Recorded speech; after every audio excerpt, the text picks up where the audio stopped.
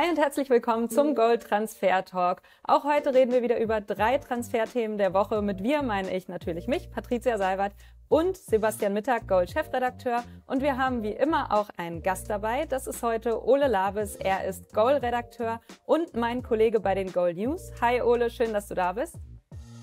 Und hi auch an dich, Sebastian. Schön, dass wir wieder zusammensitzen. Ich würde sagen, wir gehen einfach direkt rein. Ähm, es gibt Infos, es gibt Infos von uns, Goal und Spox, und zwar, dass die Bayern Interesse haben an einem Spieler von RB Leipzig und dieser Spieler ist Dani Olmo. Ja, und Dani Olmo soll sich das wohl auch ganz gut vorstellen können, so einen Wechsel zu den Bayern.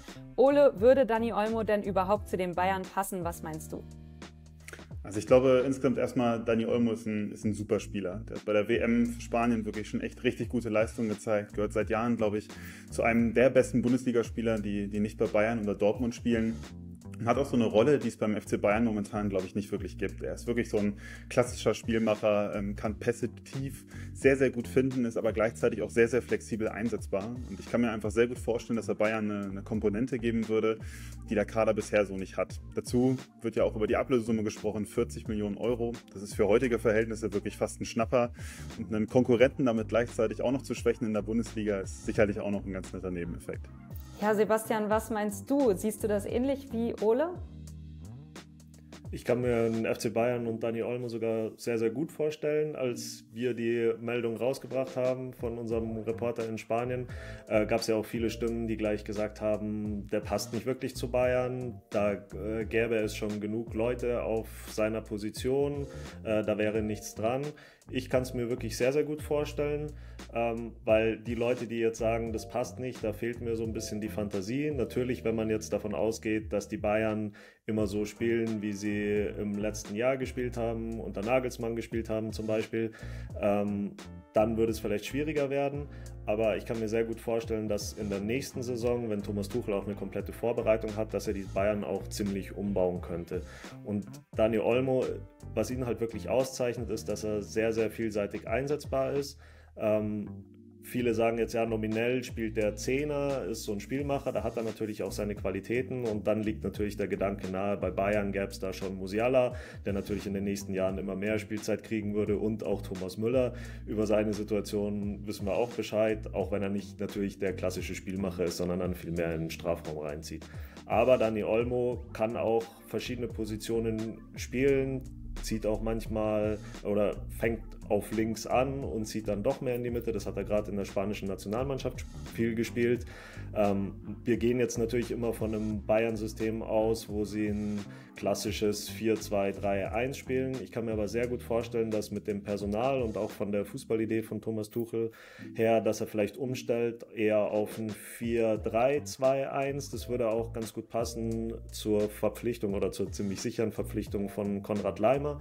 Dann könnte ich mir zum Beispiel denken, dass man mit den drei defensiven Mittelfeldspielern Kimmich, Goretzka und Leimer vielleicht sogar spielen würde und dann zwei so halb versetzte Zehner und da könnte ich mir dann sehr gut Musiala und Dani Olmo vorstellen. Und dann vorne natürlich der wahrscheinlich 100 Millionen Euro Stürmer, wer auch immer das ist. Also das wäre eine Position, die er spielen könnte. Ich könnte mir gleichzeitig auch sehr gut vorstellen, dass die Bayern äh, Jamal Musiala eher auf in den nächsten Jahren zu einem Achter umfunktionieren. Die Position hat er auch manchmal gespielt. Ich glaube, das würde auch sein ähm, Talenten ganz gut entgegenkommen. Dann hat er ein bisschen mehr Spielfeld vor sich. Sein Abschluss ist auch nicht ganz so gut. Klar, seine Dribblings sind stark, aber er ist nicht so torgefährlich. Wenn er noch ein bisschen mehr an Übersicht gewinnt, könnte er einen Achter spielen und dann vielleicht so ein bisschen hinter Olmo agieren. Oder sogar Olmo wird ein bisschen umfunktioniert und spielt dann selbst den Achter. Wir haben ja schon mal in einer Sendung darüber geredet, dass die Bayern vielleicht den neuen Thiago brauchen und nicht nur, weil er Spanier ist, aber ich könnte mir gut vorstellen, dass die Bayern vielleicht äh, Daniel Olmo umfunktionieren und dann eher ein bisschen nach hinten ziehen und als Achter spielen lassen. Er wäre nicht der erste Fußballer, bei dem das so passiert ist. Ich denke da zum Beispiel an Josua Kimmich, der hat angefangen als Rechtsverteidiger und Pep Guardiola, äh, der ihn da erst rechts eingesetzt hat, hat aber auch schon immer gesehen, okay, das wird vielleicht der, der Sechser oder der Achter der Zukunft. Also sowas kann immer passieren und diese, diese Einsatzmöglichkeiten sehe ich auch für Olmo und wie gesagt, vielseitig einsetzbar. Da kann viel passieren. Und gleichzeitig, wie Ole auch schon gesagt hat, ein spanischer Nationalspieler für um die 40 Millionen. Das gibt es heutzutage, mit den Qualitäten gibt es heutzutage sehr selten auf dem Markt. Also kann mir sehr, sehr gut vorstellen, dass die beiden da am Ende dann auch zuschlagen. Ich sehe schon, du hast einen ganz klaren Plan schon für Olmo bei den Bayern. Wir werden sehen, was passiert, aber in der Bundesliga sucht ja nicht nur der FC Bayern nach neuen Spielern, sondern auch Eintracht Frankfurt. Die sind nämlich aktuell auf Stürmersuche. Das macht auch Sinn, wenn man bedenkt, dass Kolomyani ein heiß begehrter Spieler ist, ähm, unter anderem auch bei den Bayern auf dem Zettel steht und die Eintracht vielleicht sogar schon im Sommer verlassen könnte. Ähm, ja, deswegen schaut sich die Eintracht um und zwar in Frankreich bei PSG. Da haben sie ein Stürmertalent entdeckt und das ist Hugo Ekitike. Ähm, ja, 20 Jahre alt bei PSG, aktuell ausgeliehen. Ole, was ist das so für ein Stürmertyp, für ein Spielertyp? Kannst du uns da mehr erzählen? Ja, Ekitike hatte seinen, seinen Durchbruch in der vergangenen Saison noch äh, bei Stade Reims, hat da zehn Tore in der Ligue 1 erzielt und galt auch lange als ein theoretischer Nachfolger für Erling Haaland beim BVB. Ähm, gab schon im Winter äh, erste Gerüchte, also im Winter 2022, dass Newcastle ein Angebot abgegeben hat. Das hat Stade aber damals abgelehnt. Ähm, jetzt ist er seit Sommer bei PSG mit einer Laie, ähm, wird höchstwahrscheinlich auch fest verpflichtet, denn PSG hat eine Kaufpflicht von 35 Millionen Euro, sollten sie mindestens Tabellenzweiter in der Ligue A werden. Sie sieht sehr, sehr stark danach aus, dass das passiert. Hm, seitdem er bei PSG ist, hat er natürlich das klassische Problem, was, was viele Talente bei so einem Star-Ensemble haben. Das heißt, er bekommt zwar seine Einsatzzeiten, aber selten über 90 Minuten. Momentan hat er, steht er erst bei vier Toren. Das ist natürlich für einen Stürmer nicht viel, aber man hat gerade bei Reims gesehen, das ist wirklich ein Spieler, der hat richtig viel Talent. Der ist so um die 1,90 groß, ist dafür wirklich technisch sehr, sehr versiert, ähm, hat auch Lust, mal ein paar kreative Sachen ausprobieren, hat zum Beispiel immer so Situationen drin gehabt, wo er den Ball über den Gegner rüberflickt bei Ballannahme mit dem ersten Kontakt. Das ist schon ein sehr, sehr aufstrebender Junge. Ich kann mir aber vorstellen, dass er eben in der kommenden Saison, wenn er dann auch fest verpflichtet wird, auch erneut nicht allzu viele Chancen bekommen könnte und deswegen ähm, könnte ihm ein Tapetenwechsel, glaube ich, sehr, sehr gut tun. Das klingt soweit schon mal so gut. Sebastian, könnte er der Eintracht denn auch weiterhelfen? Was meinst du? Ja, ich denke sicherlich. Ich bin sehr, sehr sicher, dass der die Position vorne im Mittelsturm frei werden wird. Irgendjemand wird sich nie schon sichern. Da bin ich mir sehr, also sehr, sehr sicher. Und die Frankfurter wissen es wohl auch und schauen sich deshalb um. Äh, Ekiteke hat die Qualitäten, nicht umsonst waren die anderen Clubs dran oder hat schon gesagt, Dortmund zum Beispiel. Ähm, darum glaube ich, das könnte die Art von Stürmer sein, die, die Frankfurt weiterbringt und auch da ähm, ist er, glaube ich, eine heiße Aktie, weil das ist auch das Prinzip, mit dem Frankfurt ja gut gefahren ist. Darum hat ja auch Dortmund auf ihn geschaut. Da weiß man jetzt, jetzt kriegt man ihn vielleicht für 30, 40 Millionen. Äh, wenn es gut läuft, ist er in zwei Jahren 100 wert und dann, dann macht man auch nochmal so richtig Geld, so wie es ja auch mit Kolomyani funktioniert hat bei ähm, Frankfurt jetzt. Äh, ich habe dran gedacht, als ich dann gelesen habe, äh, Frankfurt sucht einen neuen Stürmer, auch einen französischen Stürmer, einen jungen, talentierten Stürmer. Da habe ich mir gedacht, ah, okay, wenn jetzt äh, ja eh zu den Bayern gehen soll und da wird es ja auch wahrscheinlich haarige Verhandlungen geben um die Höhe der Ablösesumme, dann wüsste ich noch einen französischen talentierten Spieler, den ja die Bayern haben und vielleicht könnte man da ja eher tauschen. Vielleicht wäre der ja auch für die Eintracht interessant. Das ist Mathis Tell. Da hat man sich ja eh schon Gedanken gemacht, ob der ähm, jetzt zu einem anderen Verein gehen sollte, ob das nochmal was wird bei den Bayern er ist noch ziemlich jung, aber bräuchte jetzt vielleicht nochmal so eine neue Entwicklungschance. Zwar hat sein Berater gesagt, er will bei den Bayern bleiben, aber gerade so eine Laie könnte ich mir da gut vorstellen. Vielleicht wäre das ja auch ein Move, der für Frankfurt ganz gut wäre. Ähm, eine günstige Laie in Verrechnung mit Kolomyani, dann hat man vielleicht für zwei Jahre einen Stürmer. Äh, Tell hat schon gezeigt bei seinen Einsätzen in der Bundesliga, dass er Tore schießen kann in der Bundesliga. Fünf Tore schon in der Bundesliga, das ist auch gar nichts für die, nicht gar nichts für die äh, geringe Anzahl der Minuten, die er gehabt hat. Und ich glaube schon, dass viele Bundesliga-Clubs und darunter auch Frankfurt so einen Spieler gebrauchen könnten. Und wenn man dann eh schon am Verhandeln ist, habe ich mir gedacht, da sind jetzt gar keine Infos dahinter, sondern einfach, äh, wo ich mir denken könnte, okay, das würde passen für beide Seiten. Mathis Tell zur Eintracht Frankfurt, vielleicht wäre das was.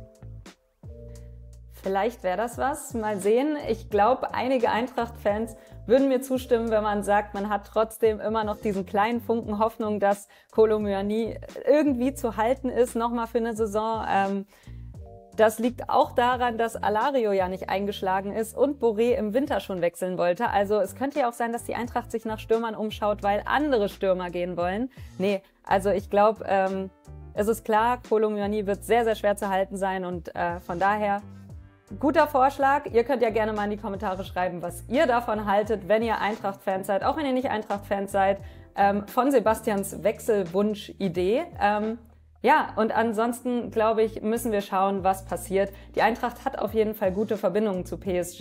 Ähm, die sind ja immer mal wieder an Spielern interessiert und auch äh, Dina Ebimbe ist aktuell ja schon im Kader der Eintracht und kam auch von PSG. Hat sich auch bewiesen und äh, ist ein guter Mann. Von daher bin ich gespannt, wie sich das weiterentwickelt. Aber ich bin auch gespannt, wie es sich weiterentwickelt bei Mbappé, weil über den müssen wir heute auch noch reden. Ähm, es scheint sich so ein bisschen zu zerschlagen, so ein Wechsel zu Real. Das wurde ja immer wieder ein bisschen spekuliert. Ähm, Real möchte laut Marca Abstand nehmen von einer Mbappé-Verpflichtung, weil sie auf Vinicius Junior setzen. Ja, und ähm, Mbappé möchte ja eigentlich eventuell von PSG weggehen, hat sich so angedeutet. Jetzt scheinen ihm aber so langsam die Optionen auszugehen. Sebastian, wenn es mit Real nichts wird, wo könnte Mbappé denn sonst noch hin?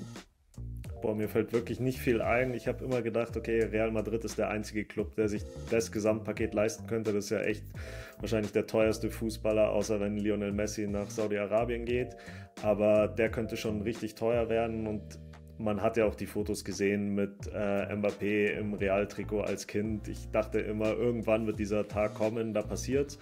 Aber ich glaube, der Stachel der kurzfristigen Absage vom letzten Jahr sitzt jetzt doch recht tief bei Real Madrid und man ist ja auch wie die Geschichte der Marker besagt, man ja, kann ja auch zufrieden sein mit Vinny Junior. Das ist ein Top-Stürmer, der hat eine super Saison gespielt jetzt. Ähm, warum sollte man da so viel Geld ausgeben? Und dann sehe ich nicht mehr viele Vereine, wo Mbappé hingehen könnte. Wir haben ja auch schon mal ein paar Mal gesagt, irgendwie für immer in Paris bleiben, das wird ihn auch nicht glücklich machen. Jetzt nochmal bei so einem richtigen Traditionsverein oder bei einem anderen Club zu spielen, wäre sicher was, was seine Karriere auch nochmal weiterbringen würde welche Clubs würde ich da sehen, wenn man in Spanien weiterdenkt? FC Barcelona, da kann man eigentlich jetzt nur lachen, weil die Geldprobleme, die die haben, da wird sicher nichts mit Mbappé. Dann bleibt ja eigentlich nur noch die Premier League und da auch wirklich die, die richtig reichen Clubs Chelsea kann sich ja offenbar weiterhin alles leisten. Das könnte vielleicht eine Mannschaft sein, die das Geld hätte. Liverpool, da hat man auch gedacht, wenn neue Investoren kommen, greifen die vielleicht richtig tief in die Tasche. Aber da hat Klopp ja jetzt schon so ein bisschen gebremst und hat gesagt, na, die ganz verrückten Dinge werden wir nicht machen. Das heißt, Liverpool wird für mich da nicht großartig in Frage kommen. Äh, dann gibt es wie immer bei allen Stürmern oder bei allen guten Spielern äh, Manchester United, die dann im Gespräch sind. Da frage ich mich aber, ob das der Club wäre, der jetzt mittlerweile die, die Größe und das Renommee hat, das Kylian Mbappé will. Da ging es jetzt doch die letzten Jahre steil bergab. Vielleicht könnten sie sich das Geld mit irgendwelchen Sponsoren und Investoren leisten, aber ich kann mir nicht vorstellen, dass jetzt Mbappé dann sagt, okay, das ist der Verein, für den ich Paris verlasse. Und dann bleibt ja eigentlich nur noch Man City in der Premier League. Auf jeden Fall das Geld hätten sie, ob sie den Platz im Kader frei hätten, ist die andere Frage, aber vom Geld her könnten sie sich das leisten und das wäre dann auch der Club, der so einen Transfer dann am Ende stemmen könnte und die wollen immer die besten Spieler. Dann wäre, wenn jetzt Mbappé gehen würde, würde mir dann eigentlich nur Man City einfallen als realistische Option, finanziell gesehen. Du hast ein paar Clubs angesprochen schon. Ole, welche Option hat Mbappé denn aus deiner Sicht? Also ich glaube, es ist für ihn jetzt wirklich sehr, sehr schwierig, weil ich glaube, mit der Entscheidung seiner Vertragsverlängerung bei PSG war relativ auffällig. Mbappé geht es auf jeden Fall nicht nur um sportliche äh, Aspekte und nicht nur um den höchsten maximalen sportlichen Erfolg, sondern auch darum, glaube ich, ein gewisses Maß an Geld auch auf jeden Fall zu verdienen. Und das ist in Europa, wie Sebastian schon gesagt hat, relativ schwierig. Ich glaube, die meisten Traditionsvereine, die nicht große Sponsoren haben, fallen einfach automatisch raus, weil sie das Gehalt oder die Ablösesumme nicht stemmen können. Solche Sachen wie USA, Saudi-Arabien oder so sind natürlich viel zu früh und machen sportliche ja auch überhaupt gar keinen Sinn für, für die Ansprüche, die ein Kian Mbappé hat.